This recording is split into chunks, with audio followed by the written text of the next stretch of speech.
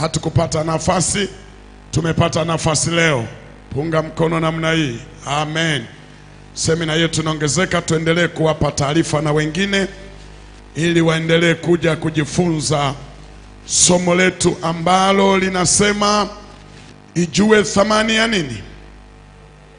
Ijue thamani ya wokovu.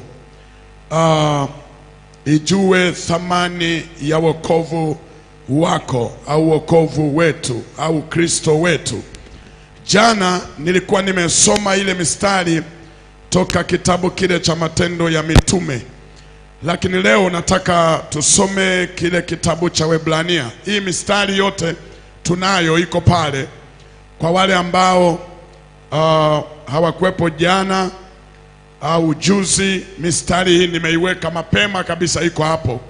Tunachambua kimoja baada ya kingine. Kesho tunaweza tukaongeza mingine.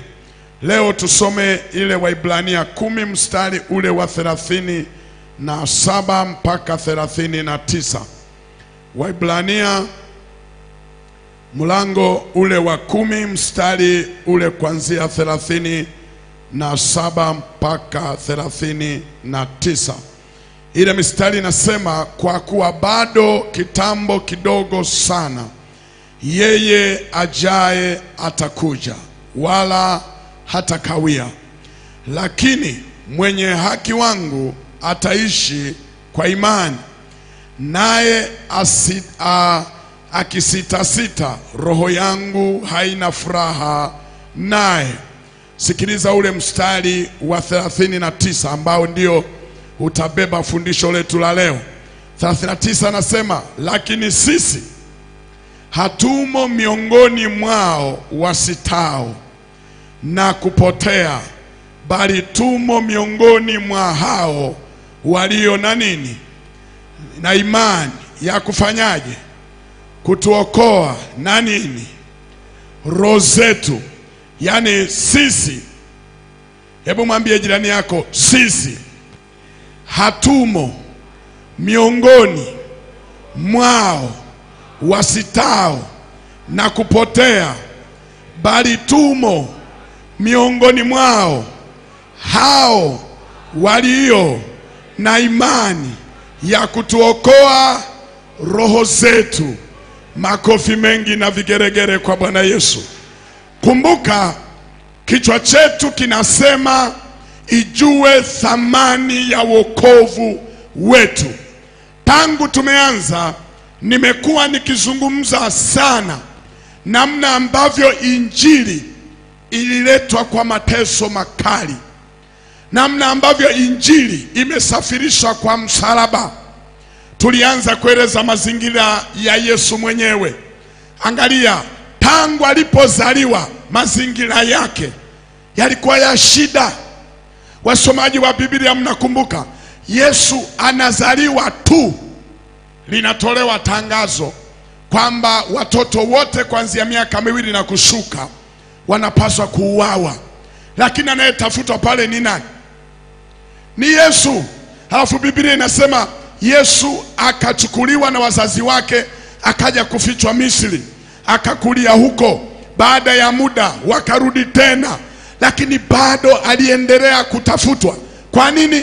Kwa sababu shetani aliuona mpango wa Mungu ndani yake. Bwana Yesu asifiwe. Ameendelea, ameanza huduma, amekuwa akipingwa, akitafutwa ma, mara kadhaa alikoswa koswa kuuawa. Siku moja walitaka hata wamsukumie kwenye korongo, lakini kosa aliyolifanya halionekani, kisa tu shetani hataki watu wafunguliwe. Maana wengine wakati mwingine walikuwa wanamchukia eti kwa nini umemponya mtu siku ya yaani kwao siku ilikuwa ya muhimu kuliko uponyaji wa mtu, lakini ile tatizo lilikuwa sio siku, tatizo ni kwamba hawamtaki yeye. Unajua, siku moja nilisema mtu akikuchukia anachukia kila kitu ulicho nacho. Anaweza akaiacha hata nguo kuvaa, kisa inafanana na nguo moja ulionayo. Anasema siwezi kuvaa gauni kama la mama fulani, siwezi kuvaa kitenge kama cha mama fulani, siwezi kuvaa suti kama vile tulishona wote na mzee fulani. Yaani mtu anaamua kukuchukia mpaka nguo unazovaa. Umewahi kuona? Unajua kuna watu wanajua kuchukia. Akiamua kukuchukia, anakuchukia wewe, ukoo wako, sijui na kabila lako, na maeneo unayotaka na mkoa unakotoka, yana na kuchukia jumla.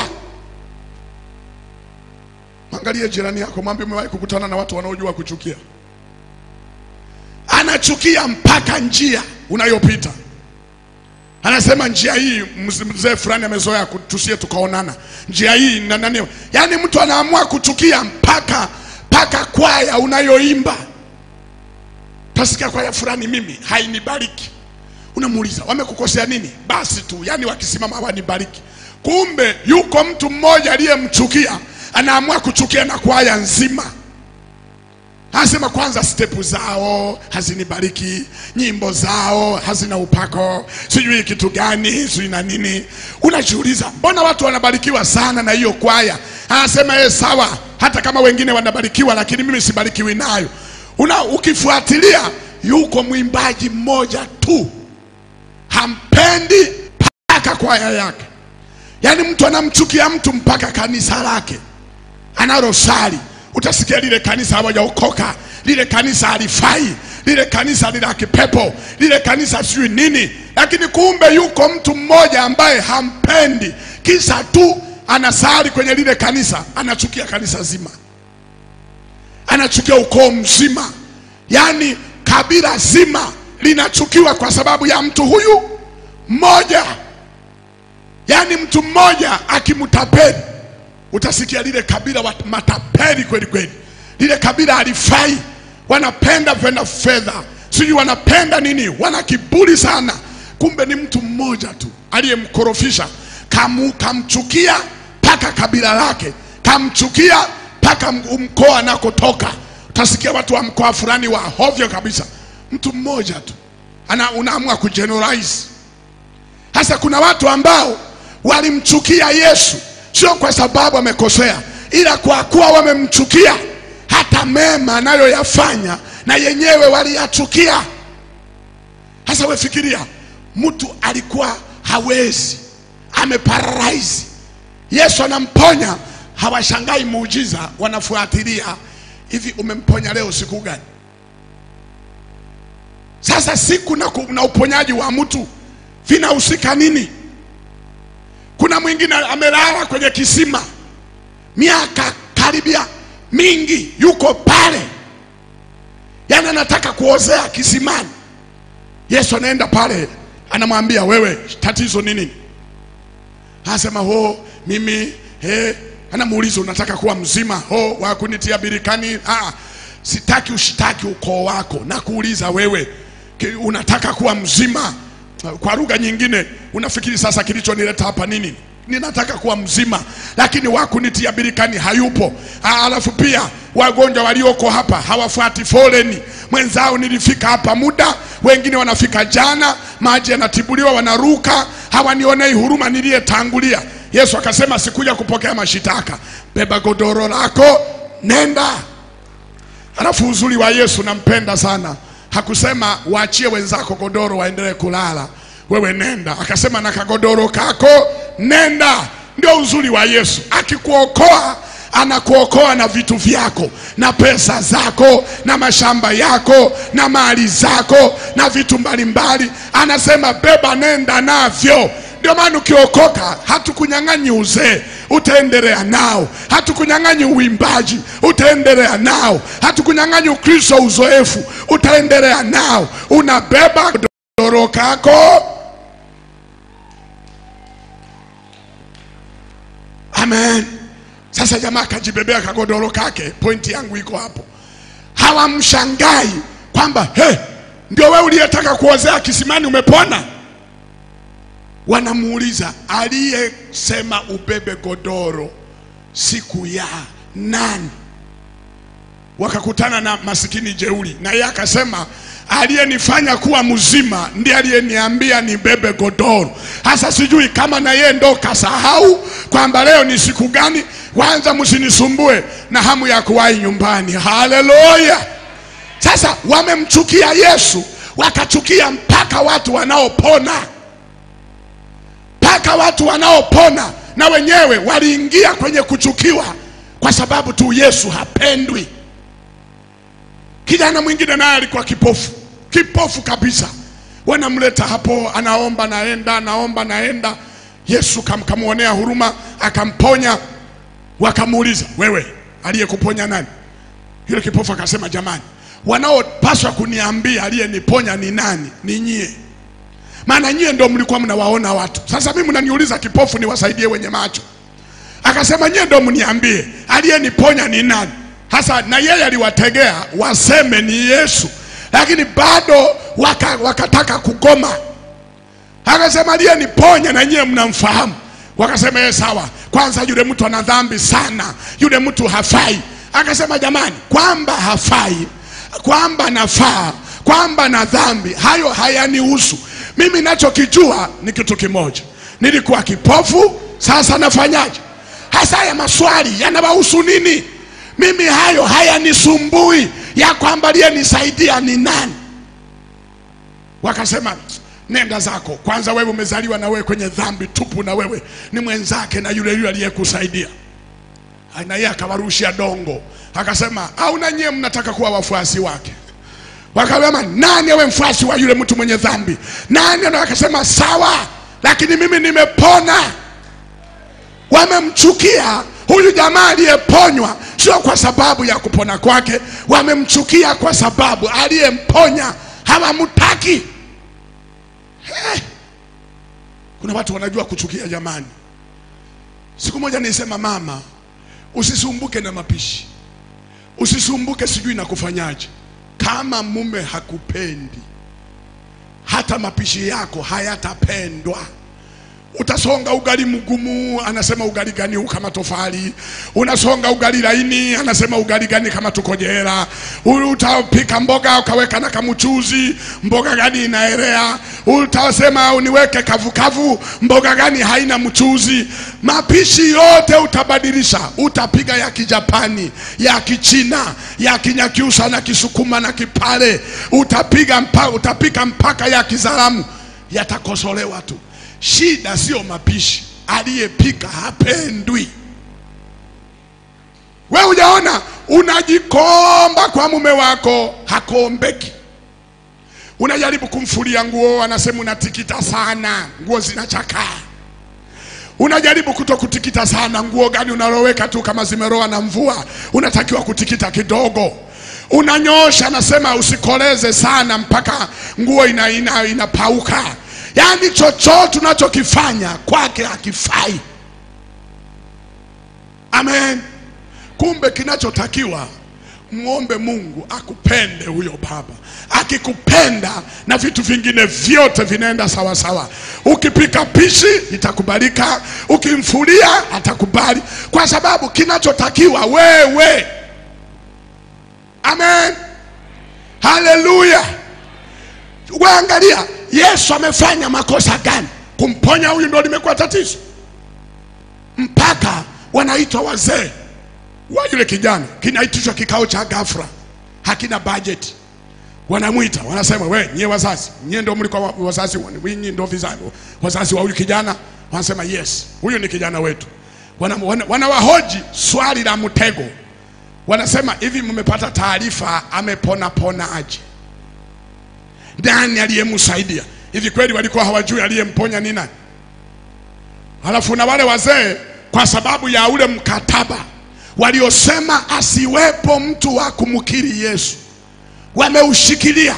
Yaani hata muujiza wa mtoto wao kupona hawauoni wala haujawashangaza, na wao wenyewe ni kama wanasema Yesu, kwa nini amemponya kijana wetu? Yaani watu wa ajabu wanasema swala la kwamba mtoto wetu ni kipofu, alikuwa kipofu, hilo tunajua.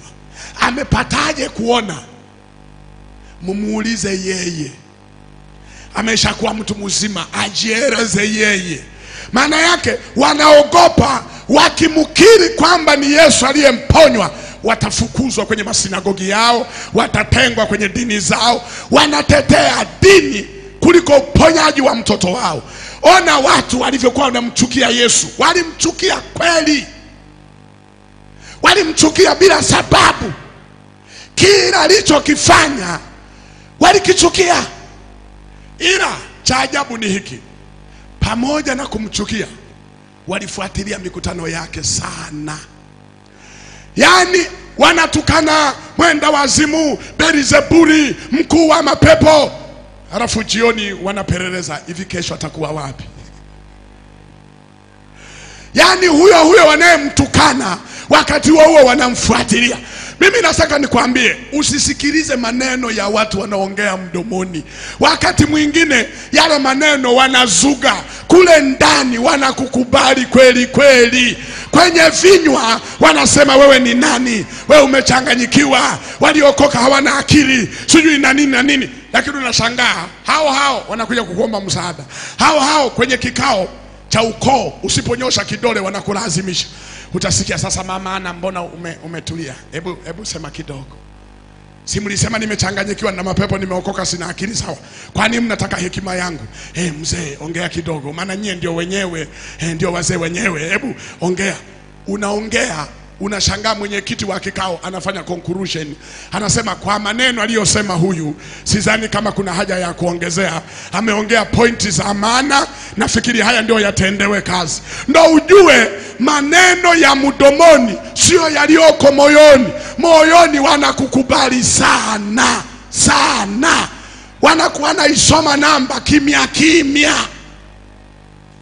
Siku moja waliposti klipu yangu kwenye grupu fulani, wakaposti, alafu watu waka- waka- wakaanza kutoa komenti zao.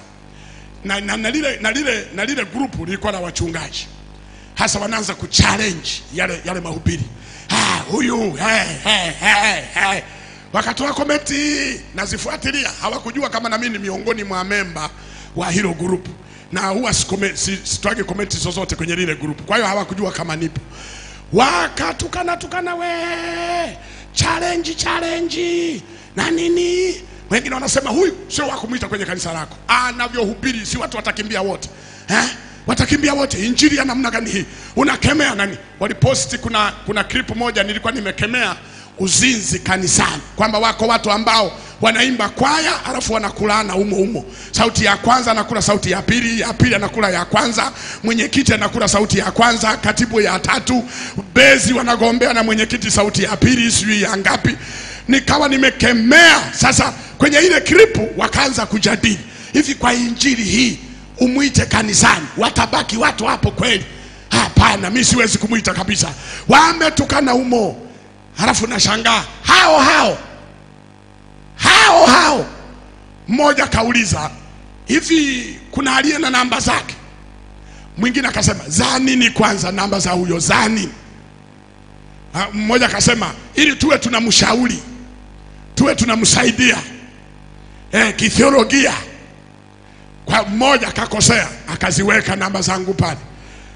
Nilipigiwa simu na hao hao, yaani huku wanatukana huku wanasema mchungaji, nitafutie nafasi uje kanisani kwangu, maana nimesikiliza injili yako aisee, ije isaidie. Unajua mimi pale kanisani kuna tu- tuimbaji twa kwaya tuzinzi twingine yani tunachafua madhabahu twingine yani wengine tunaogopa kusema, si unajua tena mchungaji, wewe ukija uje uangushe kali kuliko. Nina kripu yako moja nimeipenda kweli yule yule ndiye aliyekuwa kule amekomenti kwamba huyu hafai hata kumwita hafai. Mwingine tena anapiga simu, waliniomba wote, wanataka niende kufanya mikutano kwenye makanisa yao, na mimi kwa sababu wito wangu ni kuhubiri, sijali umenitukana, umenidharau, tena wewe uliye nikashifu na kutukana, ndio natafuta nafasi hata kama ilikuwa haipo, ni waombe niliyowahi kwenda mara mbili mara tatu,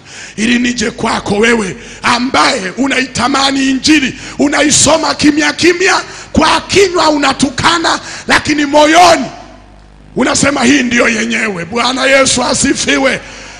Hawa jamaa walimtukana Yesu sana, alafu nashangaa kila mkutano wapo. Sasa swali, kama huyu ni mwenda wazimu, mnamfuatilia wani? Kwa nini mnafunga safari kumtafuta aliko? wakati mmesema huyu mwenda wazimu Belzebuli. Uliwahi kumwona wapi mtu anamfuatilia kichaa?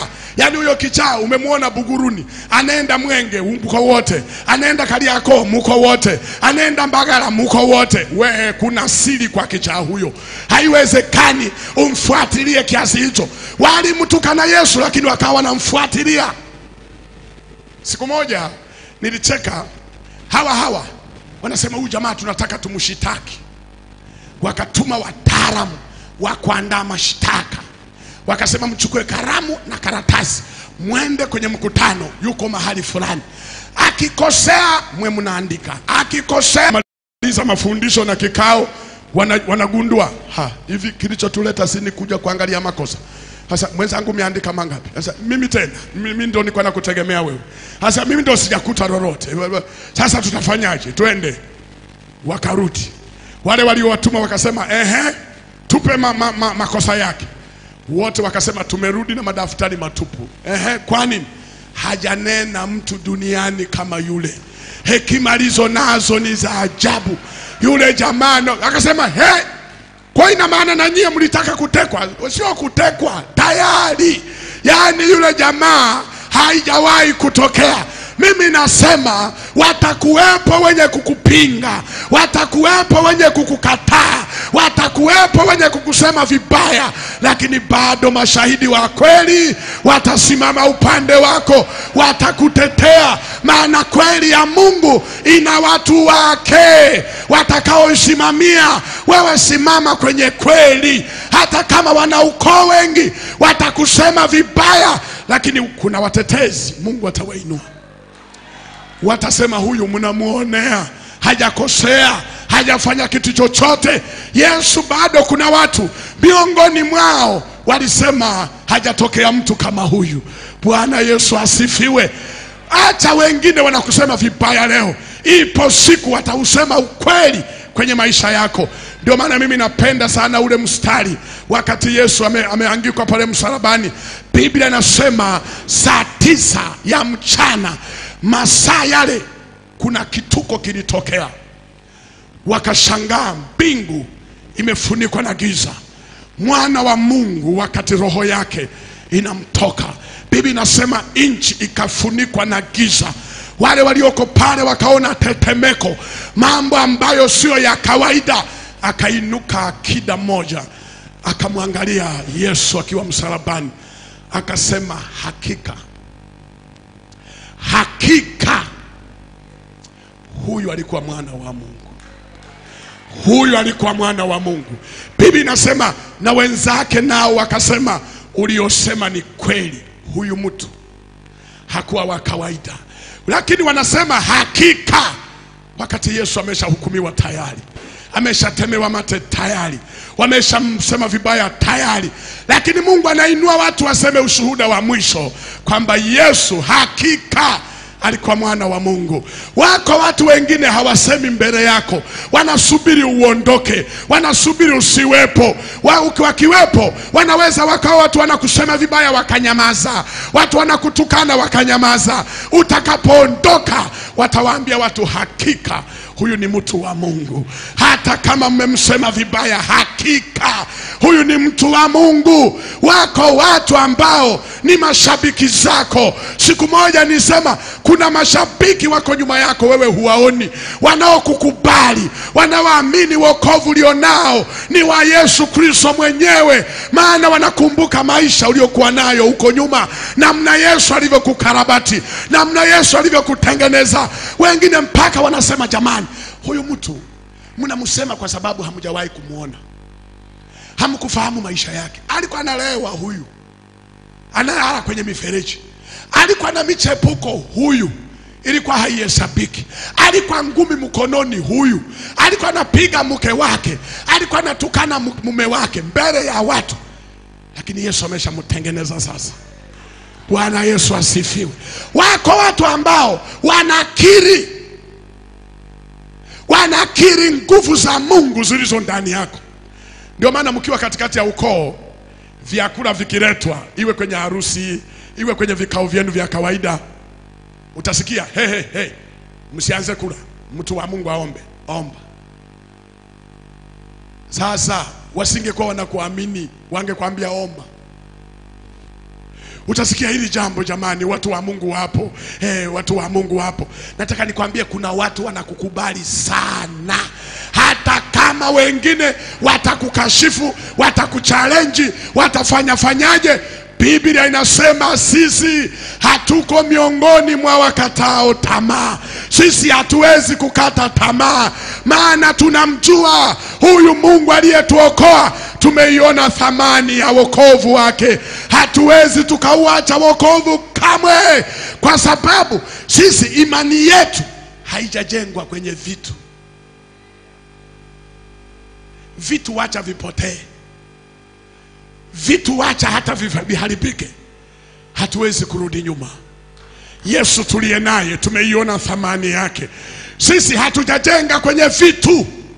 Ndio maana nilikwambia jana, mimi nitamshangaa mtu ambaye anamwacha Yesu, anaacha kwaya, analiacha kanisa, eti kisa alipokuwa mgonjwa hawakwenda kumwona, alipofiwa hawakuleta chochote, alipopata tatizo hawa... unamwachaje Yesu? Ina maana wewe wokovu wako na maisha yako vimeshikiliwa kwenye vitu. No, hatumwabudu Mungu kwa sababu ametupa magari. Hatumwabudu Mungu kwa sababu ametupa nyumba. Hatumwabudu Mungu kwa sababu ametupa wake na watoto. Hatumwabudu Mungu kwa sababu ametupa wanaume. Hatumwabudu Mungu kwa sababu ametupa pesa nyingi. Pana, tunamwabudu Mungu kwa sababu ni baba yetu, kwa sababu ni baba yetu. Atupe, achereweshe atupe mwaka kesho, hatumwachi. Yeye ni baba yetu. Unajua baba yako ni baba hivi.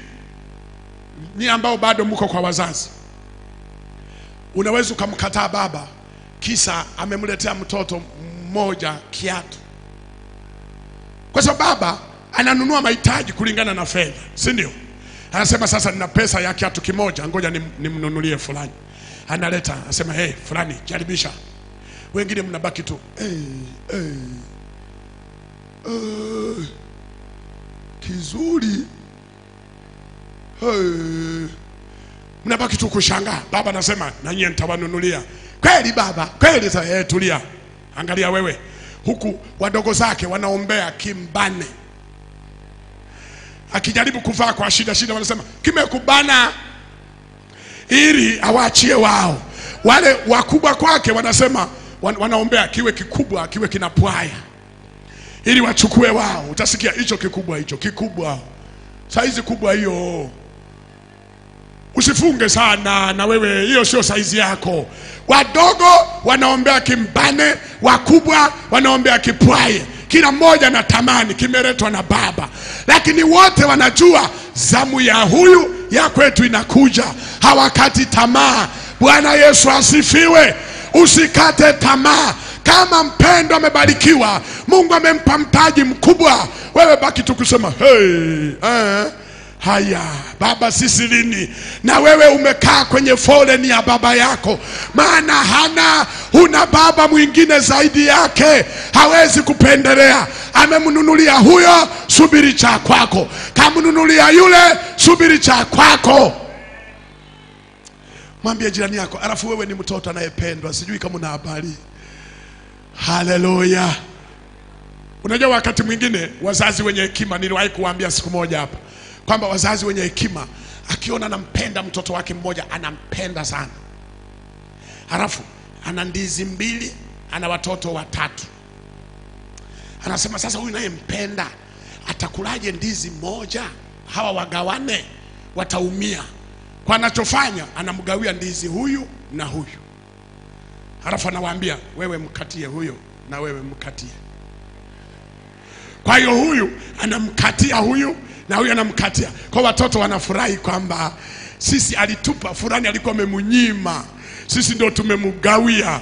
Kumbe mama najua huyu huyu akikata nusu na huyu nusu, huyu ndizi nzima au amekula nusu, lakini hawa wana amani kwamba sisi ndio tuliomgawia. Lakini mama naye mpenda anajua unajua kupendwa nako bwana raha. Amen, kupendwa raha. Ndio maana mtoto akikosea kidogo, wakati mwingine baba maana sisi wazee wakati mwingine ni, ma- ni, ma- ni makatili kidogo. Unasema wewe umekosea, moja mbili tatu, moja mbili tatu, leo hautakula. Mama naye kupenda yuko pembeni, anajidai kama vile na yeye amekubaliana na wazo la baba. Kweli hakali, kanajifanya kajeuli, hamuna kula. Mama naingia jikoni, anapakua wali na nyama, anashindilia kwenye sahani, anaweka kwenye plastiki, anafunika, halafu anasema sio tu kwamba hutakula na maji utachota,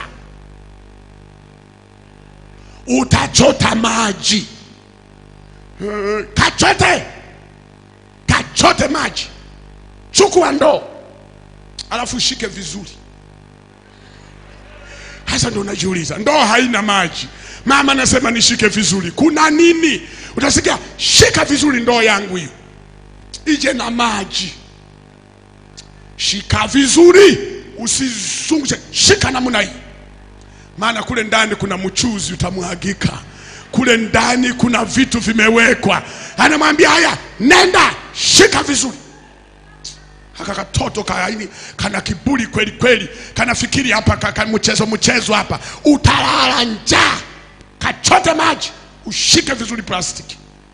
Hasa kijana anaona kama binti au nani, anaona mbona plastiki nzito nzito hivi, anaenda nayo kufika mtoni kufunua wali nyama, ndo anagundua hey, ndio maana alisema shika vizuri anatoa taratibu, anakura anakura. Bahati nzuri mama amemtuma mtoni akale na kunywa maji huko huko, kwa hiyo anashushia huko huko, anabeba ndoo ya maji, lina nguvu zote. Mama anasema umeleta maji.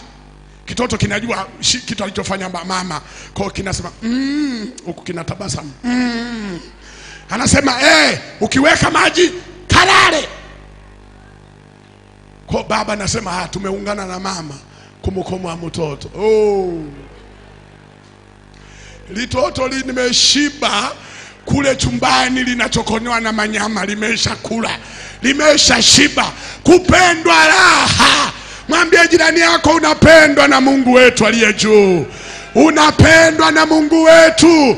Ndio maana wakati mwingine anakutuma na kwenye kazi, dunia inafikiri umetengwa, dunia inafikiri upendwi, alafu Mungu anakupa plastiki uimbaji, plastiki kuhubiri, plastiki kanisani, plastiki kwenye semina, plastiki nyingi, plastiki gitaa, kibodi, kuimba plastiki. Humo kwenye plastiki kuna kitu.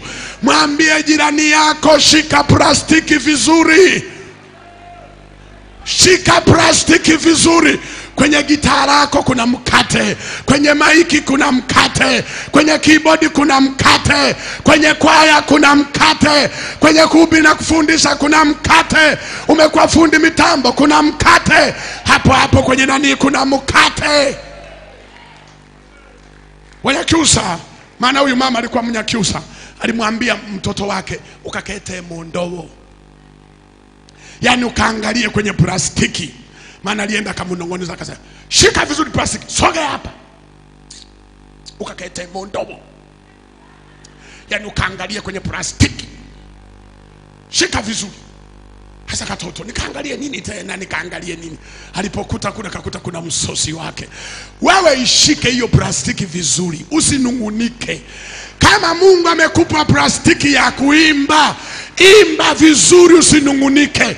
Akikupa plastiki ya kuhubiri, hubiri vizuri, usinungunike. Akikupa plastiki ya kuwa karama ya masaidiano, usichoke kupatanisha ndoa za watu, watu waliogombana. Hiyo ndio plastiki yako. Kuna mkate wako mule ndani. Mwangalie jirani yako, hata kama jui Kinyakyusa, mwambie kakete mundobo. Hey, kaangalie kwenye plastiki, maana humo ndimo kulipo na mkate. Dunia inafikiri tunapomtumikia Mungu tunateseka.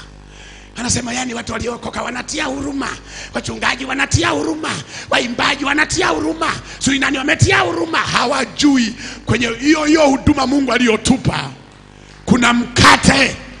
Wewe hujawahi kuona? Kuna watu wengine niwahi kusema hapa, hulipwi. Ukiimba kanisani huna posho, ukifanya chochote huna posho.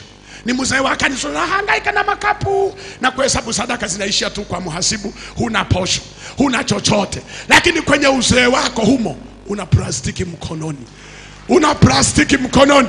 Ndio maana unaangalia kwenye duka lako, Mungu anawaleta wateja hata ambao hukutarajia. Tayari ndio mkate wako huko kwenye plastiki.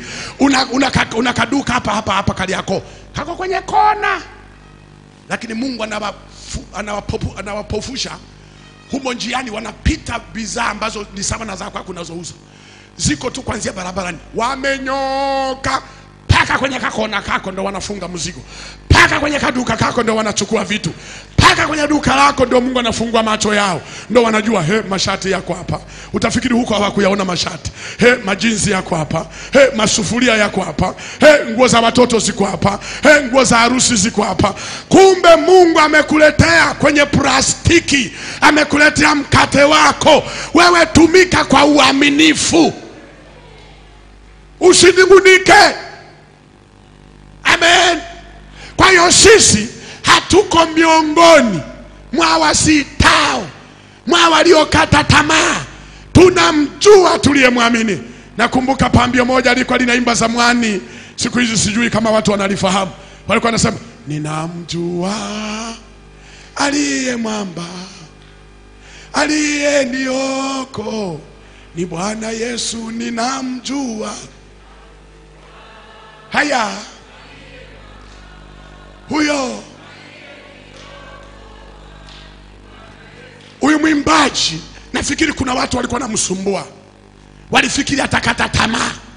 Walipokata misaada, maana waliahidi tutakusomesha, wakaacha. Yawezekana waliahidi tutakuchangia kwenye harusi yake, wakaingia mitini. Yawezekana waliahidi kumpa vitu fulani, wakaingia mitini. Yawezekana waliahidi vitu mbalimbali, wakamkataa, wakamwacha kwenye mataa, lakini wimbo ukaja, ninamjua aliyeniokoa, aliye mwamba, nina uhakika naye, na sisi tunamjua huyo. Tunajua thamani ya wokovu wetu, tunajua thamani ya wokovu tulikotokea. Wengine hatukuwa hivi, tulikuwa watu tulioharibika, jamii ilitukataa, kwenye mahesabu tulikuwa hatumo, lakini Yesu ameturudisha. Yesu amerudisha hadhi yetu.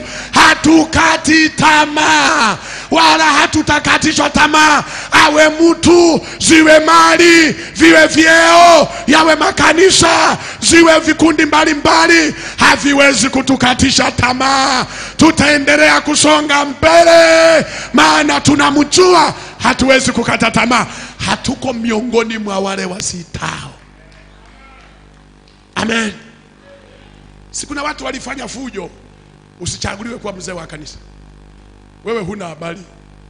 Walifikiri utahama kanisa, wameshangaa. Ndio kwanza unakuwa wa kwanza kufika, kwanza ndio uko kimbelembele kujitolea na kufanya mambo yote, kwanza ndio huyakata tamaa. Unasema ai, tulifikiri tukilinyima uzee wa kanisa litahama kanisa. Aliyekwambia nimekuwa mshiriki ili niwe mzee nani?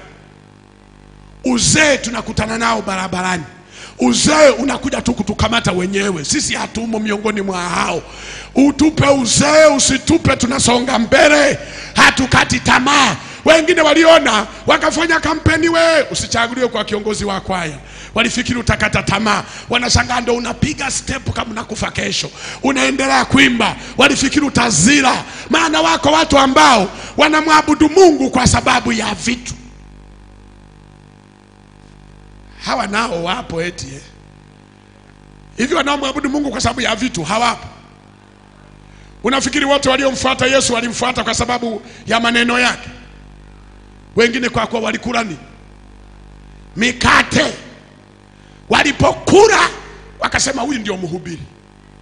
Hata usipomwelewa mahubiri yake, mikate hutaielewa.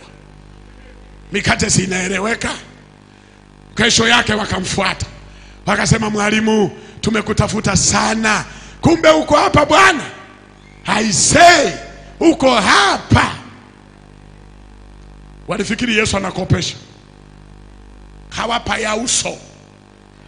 Akasema, najua kilichowaleta, Kilichowaleta sio kwa sababu jana mliona miujiza mkaamini, hapana, kwa kuwa mlikula mikate. Wakasema huyu jamaa mwelewa, huyu ameelewa kweli. Wakamwambia hebu fanya fanya tena, fanya tena muujiza mwingine. Akaangalia kwenye mioyo yao, akaona wanawaza mikate, akawaambia leo mikate haipo. Wakasema kwa hiyo ninacho kishukacho kutoka juu kimpacho mtu uzima. Wakasema isee, kama cha duniani kilituchanganya samaki tu na mikate tukala mpaka tumekufuata. Hasa hicho cha mbinguni sindo kitamu zaidi? Wakasema hicho utupe siku zote. Mambo ya kuja kukuombaomba hapa tutachoka. Tuwekeane mkataba kwamba kila siku tutakuwa tunakuja hapa mikono juu, vya mbinguni vinashuka, tunakula, tunaenda. Mpaka wengine wakaanza kuandaa kamati awe mfarume, maana akiwa mfarume hakuna cha kazi, mikono juu, mikate chini, mikono juu, samaki hao, kila kitu. Utupe hicho siku zote. Akasema mnataka? Wakasema ndio, tunataka. Akasema okay, aulaye mwili wangu na kuinywa damu yangu, huyo atakuwa na uzima wa milele. Wakamwambia pardon, can you repeat? Akamwambia nimesema aulaye mwili wangu na kuinywa damu yangu, huyo atakuwa na uzima wa nini? Wa milele. Wale ambao hawakuwepo kwenye mkutano ule mwingine wakasema hivi, mlituita tuje tumshiriki, tumsikilize huyu mchawi anayefundisha watu kula nyama za watu na kunywa damu za watu? Wakawaambia ana maneno magumu hivyo hivyo, lakini subiri ni mwishoni huenda akafanya fanya mambo. Akawaambia leo hamna kufanya mambo, hakuna cha chochote leo. Leo ni mwili wangu na damu yangu. Biblia inasema mkutano wote wakasema, hatujawahi kuona mhubiri anahubiri uchawi na ushirikina, wakula damu za watu na nini. Wakaondoka wote, wakabaki wale ashaz wale sabini, na wao wakasema, tunahudumuje na mhubiri anafundisha ushirikina? Huyu haiwezekani. Na wao wakaenda, wakabaki akina Petro, wale kamati tendaji kumi na mbili na wao bibi nasema mguu mmoja nje mwingine ndani, wanasubiri Yesu aseme amsore nimekosea, sikujiona, nimeongea lugha sio yenyewe. Yesu akawaambia lililonitoka halikunitoka kwa bahati mbaya, liko vile vile, na nyie mkitaka kwenda njia ile. Petro akarusha taulo kuokoa wenzake wasitimue mbio, akasema Bwana, twende kwa nani? Kwako ndiko kuliko na uzima wa milele. Sema maneno yote magumu, kwako hatuondoki. Sema maneno yote yasiyoeleweka, tutaelewa mbele ya safari, lakini haondoki mtu hapa, haondoki mtu hapa. Na sisi hata tupite kipindi kigumu, tupite kipindi ambacho hakisomeki, kipindi ambacho hakieleweki, hatuondoki. Mengine tutaelewa mbele ya safari.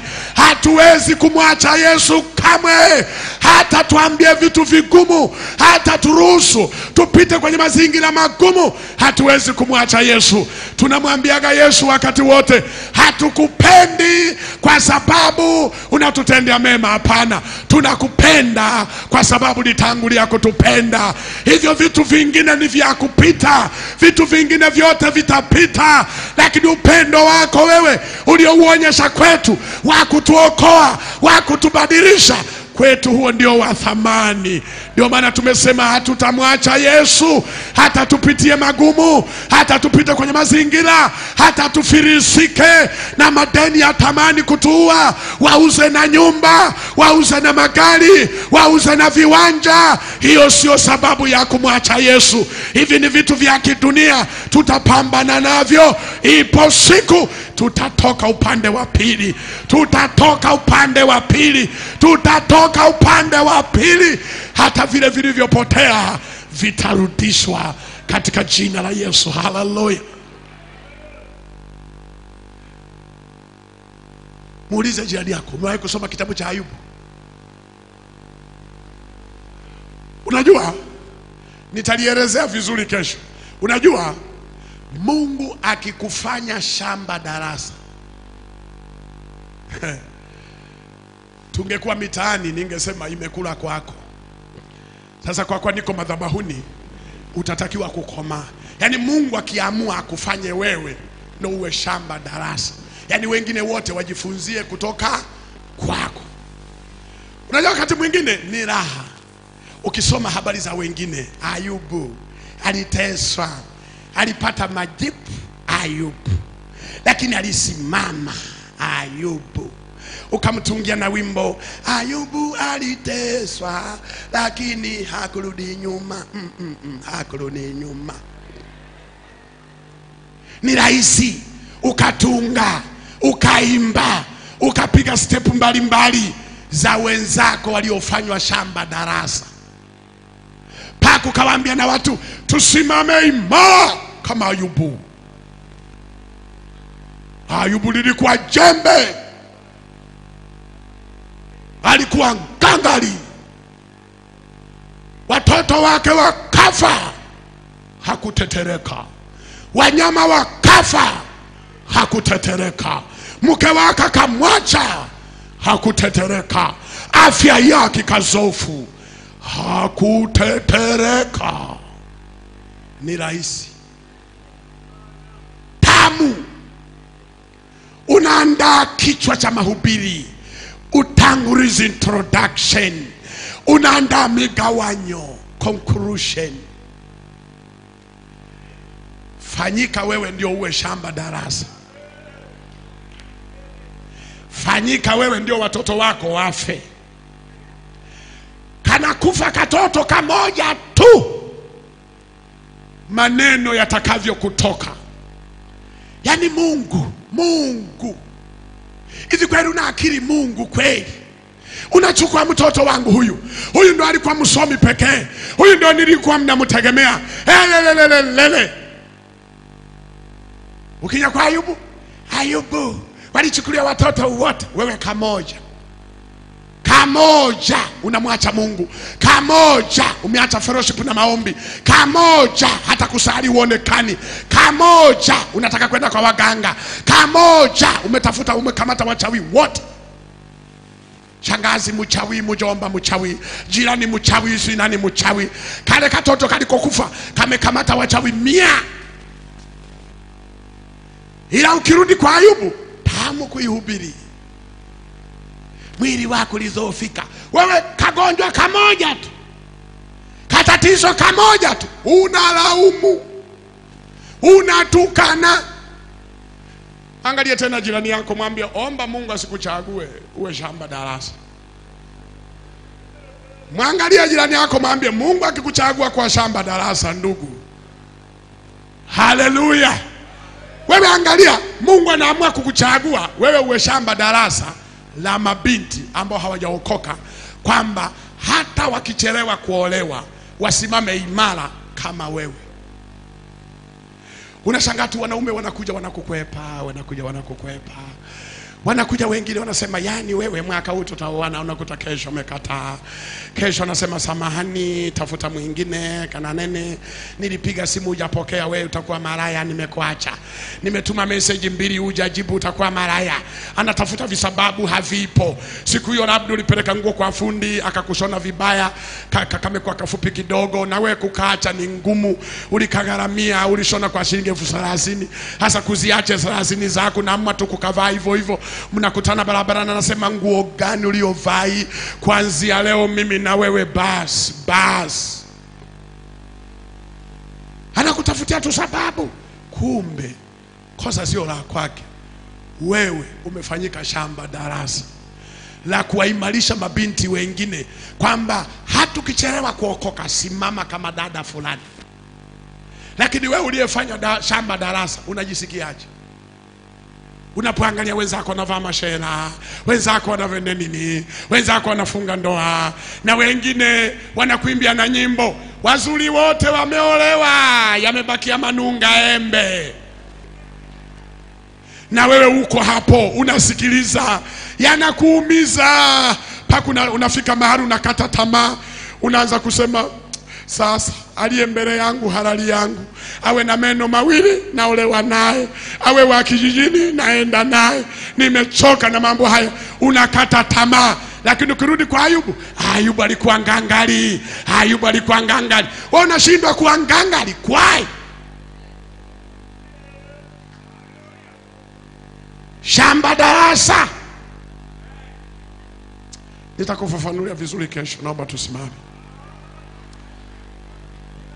Hasa mnasema ah, mnataka tuendelee. Simama, mwangalie jirani yako, mwambie shamba darasa, simama. Ye, nitakufafanulia vizuri kesho. Maana yako mashamba darasa mengi, nataka kesho tuyaseme. Uko tayari kujua wewe ni shamba darasa kwenye eneo gani, ili na wewe usimame kama mashamba darasa ya kina Ayubu, ya kina Musa, ya watu mbalimbali walioteseka, lakini kwa kuteswa kwao kitabu cha Waebrania kimewatambua kinasema, baba wa imani Ibrahimu, baba wa imani Ayubu, baba wa imani Enoko, baba wa imani Suinani. nani, kimewatambua mashamba darasa. Na wewe yawezekana ni shamba darasa kwenye maeneo fulani, lakini unapaswa kusimama. Tumesema mstari unasema, lakini sisi hatumo miongoni mwao wasitao na kupotea, bali tumo miongoni mwa hao walio na imani ya kuokoa roho zetu. Sisi ndo tuko miongoni mwa hao ambao hawasiti, wamesimama imara, hata yatokee ya kutokea, hatutarudi nyuma kamwe. Tumetambua thamani ya wokovu wetu. Inamisha kichwa chako, nataka nikuombee. Nataka niombe kwa ajili yako rafiki yangu. Wako watu walikuwa bado hujajua thamani ya wokovu, namna ambavyo Mungu amekupigania, namna ambavyo Mungu amepambana kwa ajili yako, namna ambavyo Mungu amesababisha wokovu kwenye maisha yako, lakini umeukataa.